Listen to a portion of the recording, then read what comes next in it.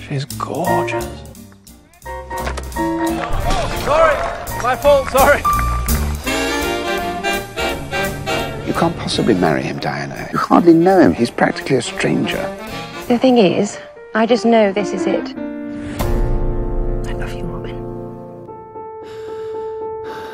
I'm not feeling too good. I can't move. What's going on? Robin? Get him on a respirator! Can't move anything from the neck down. Can't even breathe for yourself. I love you, and I want Jonathan to know you.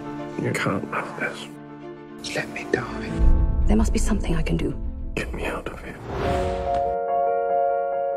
No one with your husband's disability exists outside a hospital. Darling, call Teddy. I've had an idea. A wheelchair that does his breathing for him. Are you sure it's safe? It's worked so far. When I first became paralyzed, I wanted to die. My wife told me I had to live. See our son grow up. Your life is my life. Darling, I don't want to just survive. I want to truly live.